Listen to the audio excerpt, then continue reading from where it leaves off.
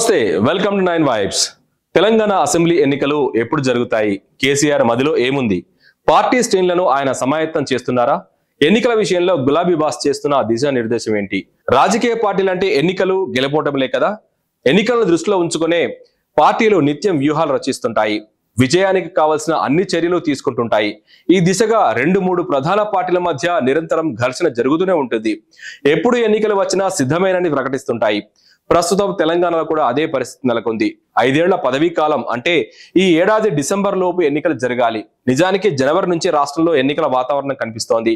CM KCR ముందస్తు ఎన్నికలకు సమాయత్తమవుతున్నారని చాలా కాలంగా వార్తలున్నాయి. అధికార పార్టీ కదలికలు కూడా ఆ దిశగా సంకేతాలు ఇస్తున్నాయి. బీఆర్ఎస్ అధినేత కేసీఆర్ ఇప్పుడు ఒక నిర్ణయానికి వచ్చినట్లు తెలుస్తోంది. ఆగస్టులో ఎన్నికలకు సిద్ధంగా ఉండాలని పార్టీ ఎమ్మెల్యేలకు ఆయన హితబోధ చేశారట.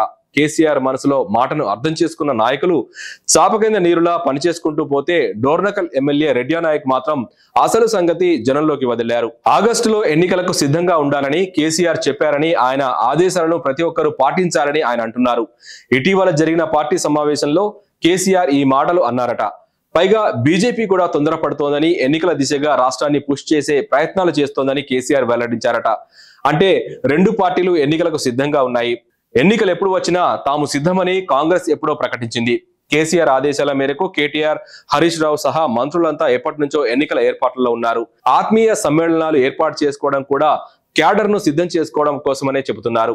ఆత్మీయ సమ్మేళనాల్లో కొన్ని బెడిసి కొడుతున్నా పార్టీ వెనుకాడకుండా ముందుకు వెళ్ళాలని దిశానిర్దేశం చేస్తోంది. ఆత్మీయ సమ్మేళనాల్లో పార్టీ కార్యకర్తలు కొందరు నాయకత్వాన్ని ఉద్యమ కాలం నుండి ఉన్న తమకు జరిగిన న్యాయం ఏంటని నిలదీస్తున్నారు. అలాంటి వారిని గుర్తించి ప్రగతి భవన్లో ప్రత్యేక కార్యక్రమం నిర్వహించినట్టు తెలుస్తోంది. ఎన్నికల లోపు కేసీఆర్ బహుముఖ వ్యూహం అమలు చేయనున్నట్టు తెలుస్తోంది. క్యాడర్ జారిపోకుండా చర్యలు మొదటిది. ఎమ్మెల్యేల పనితీరుపై వేర్వేరు కోణాల్లో సర్వేలు చేయించారట కేసీఆర్. వాటన్నింటినీ విశ్లేషించి ఒక నివేదిక తనకు అందజేయాలని ఆదేశించారు. సిట్టింగ్లందరికీ మళ్ళీ టికెట్లు ఇస్తామని కేసీఆర్ ఇప్పటికే ప్రకటించారు. అయితే కొందరికి మొండి చేయి చూపించడం మాత్రం ఖాయమంటున్నారు. పనితీరు సరిగా లేని వారికి టికెట్లు ఇవ్వరని వారికి కూడా సరిగ్గా ఎన్నికల ముందే ఈ విషయం చెబుతారని అంటున్నారు.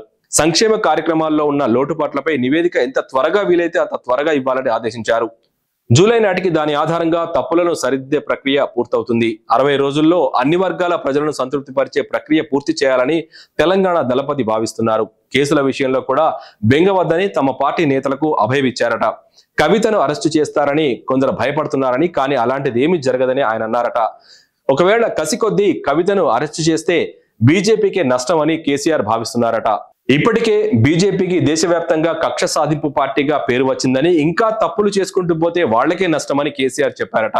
చూడాలి మరి ఎన్నికల వేడి ఎలా ఉండబోతోందో. ఇది వాళ్ళ టాపిక్. మరో ఇంట్రెస్టింగ్ టాపిక్తో మళ్ళీ కలుసుకుందాం. Keep watching Nine Vibes.